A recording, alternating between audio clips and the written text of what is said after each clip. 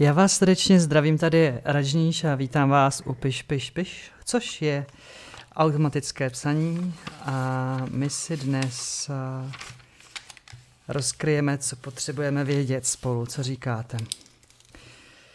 Tak jo, tak jdeme na to.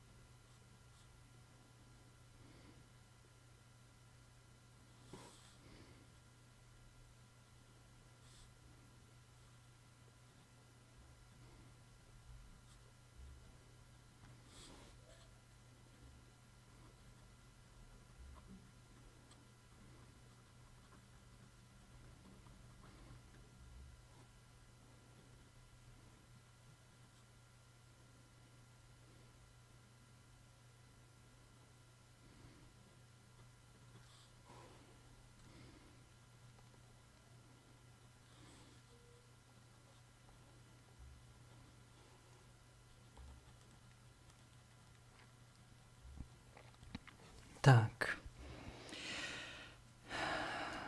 Láska přišla jako první slovo, ale opakovalo se nám tady několikrát, i když po třetí v souvislosti uh, lásky k domu nebo k nějaké nemovitosti.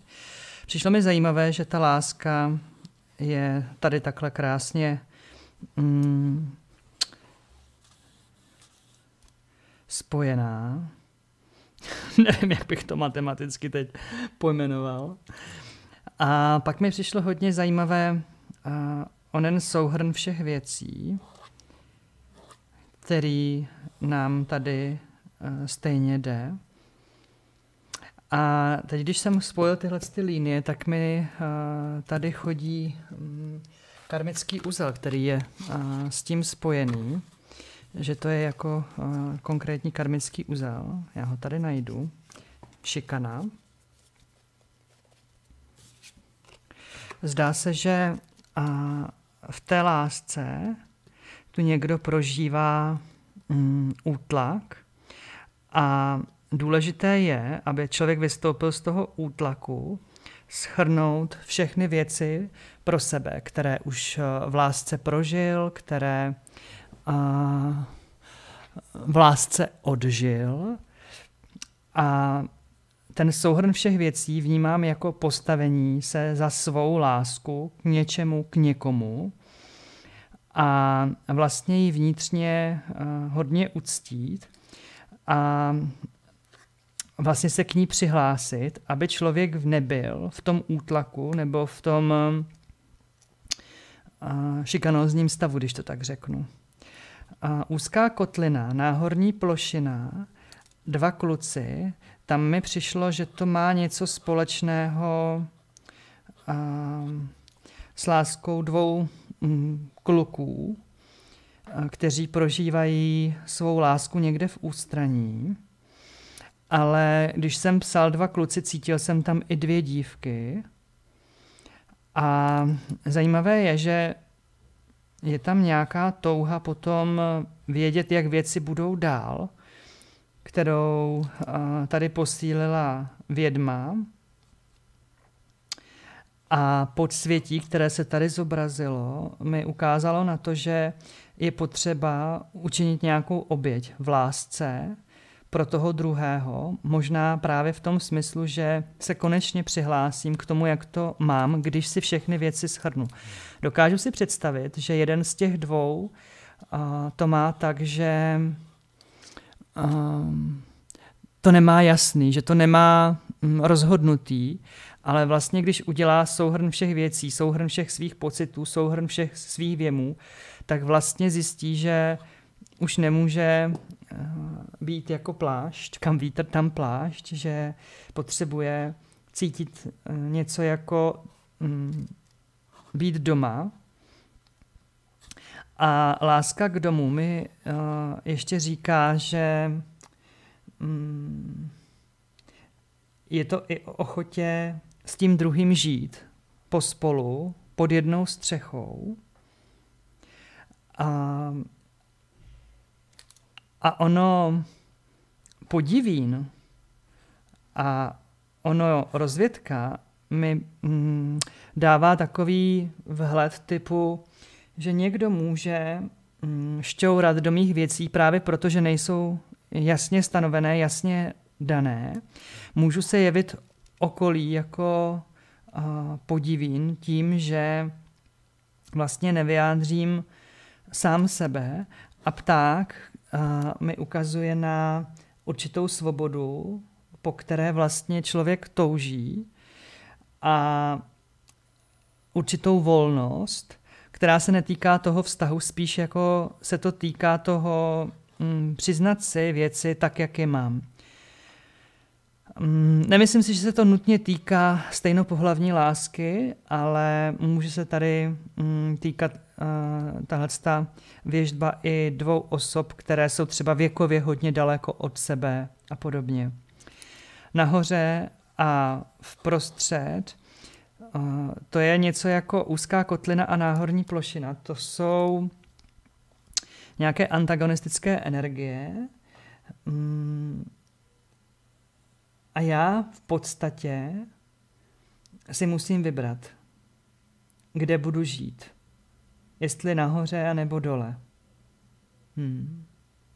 Umění dávat je vlastně takovým lékem, hmm, který ukazuje na, hmm, řekněme, otevřené srdce a umění dávat lásku a že tady nejsem jenom pro sebe a že v lásce nejde jenom o mě.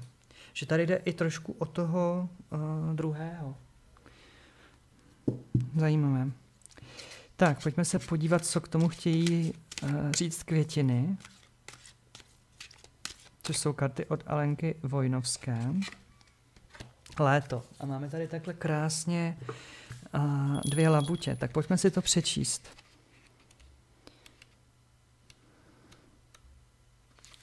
smyslnost, životní energie. Chceš být neustále autoritou, máš pocit, že mrháš svou energií, máš chuť se na všechno vykašlat a utéct. Existují cykly úspěchu, kdy všechno rozkvete tak jako v létě a máš pocit volnosti. Chce se ti létat jako motýl. Vnímáš spousty barev a vůní, točí se ti hlava. Zadívej se na kartu léta a nech své myšlenky jen tak volně proudit. Když si tvůrčí energii uvědomíš, projeví se jako radost. Nemusíš čekat na nic smysluplného, aby si mohl začít užívat. Jen dělej s radostí vše, co děláš. Radost je smysluplná sama o sobě. Čekání na to, že jednou začneš žít, plyne jen a jen z tvého nevědomí. Pozitivní námoj přijde do tvého života až tehdy, kdy dokážeš ocenit vše, co už máš a co děláš právě teď. To je ten souhrn všech věcí. Tvůj život odráží přesně to, jaký jsi a jak se cítíš. A to je vlastně ten vliv té šikany. Hmm. Při jakékoliv činnosti, kterou děláš rád a s plným vědomím, zažíváš radost. Toto je způsob, jak se pomocí činnosti spojíš s tvůrčími silami celého vesmíru. Ještě jednou pohlédneš na kartu léta. Cítíš, jak se ti zvedá tep a je ti příjemně. Dostáváš se na louku plnou vlčích máků, kopretin nebo zvonků. Bytí, které teď vnímáš, vychází z tebe. Buď přítomný, bdělý a klidný. Dokázal si nalézt radost bytí v tom, co děláš. Perský básník a sufijský mistr 14. století Hafés napsal Jsem dírkou na flétně, skrze kterou může proudit dech Krista, naslouchejte hudbě. Tvoje životní síla je radost, radost bytí a je radostí z plného vědomí. Jen tak převezmeš vládu nad svým životem do svých rukou. No a já se budu těšit příště. Tento YouTube kanál podpořili trvalí patroni Chandragiri Bansuri, Machalová, Žaneta, Šustr Marlén, Šulcová Iveta, Svoreňová Zdenka a jednorázví patroni Atrin, Buzek Tadeáš, Cichá Jarmila, Císařová Zuzana Cerelová, Helena Duvková, Vladislava, Ederová Vendula, Filařová Martina, Frýdecký Robert, Gregorová Vladislava, Chotašová Bohdana, Jánošíková Martina, Kalincová Karla Kantorová, Iva Klenková, Adriana Kolínová, Marie Křivánek, Jiří Kucková, Eva Mozéšová, Libušan, Gová Simona, Ondráčková Jana, Pisatová Petra Razimová, Lucie Rozhoňová, Ilona Šaferová, Ivana, Slavíková Zdeňka, Svítící Beruše, Vachulová Jana, Vedlichová Hana Vlková, Petra Zoharová, Marie Žurková, Květa a anonymní patroni. Děkuji pěkně.